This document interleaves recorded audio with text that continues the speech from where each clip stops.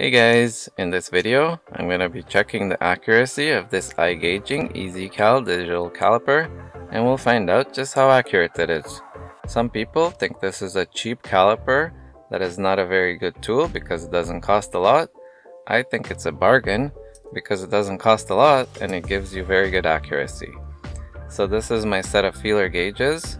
This is the side with the numbers. I'm just going to turn it over.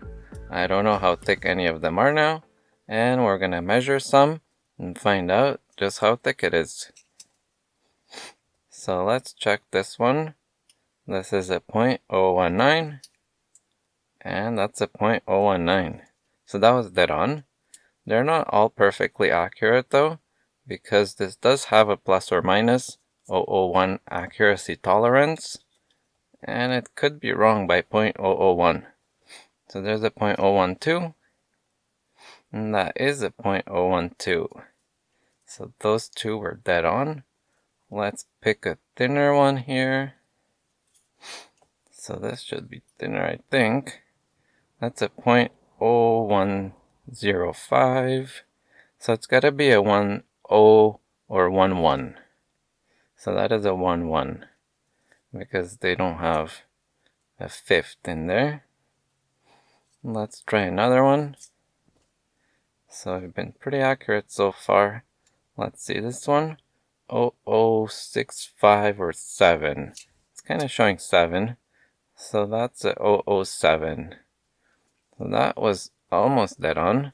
It was within 0.005 of an inch. So that's really accurate. And let's try this one. 004. And that is 004. So we'll go even thinner than that. And let's try this one. And that's 002. And this is a 0025. So it couldn't measure the extra 5 because it's not accurate enough. It is within 0.001 of an inch. So let's set 001 of an inch on this caliper.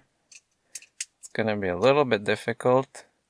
I'm just trying to set 001 here. And there we go, 001. And I'm just going to zoom in. And that's just how thick 001 of an inch is. So this is how accurate this caliper is. And I'm going to just take the thinnest one here. And let's see what this one measures. This is the thinnest feeler gauge I can get. And that's 0.001. So that is the tolerance of this caliper it does say 001 and this is a 0015 so I think this caliper is truly amazing for its price I'm gonna have a link down to it in the video description and I highly recommend it if you need an accurate caliper.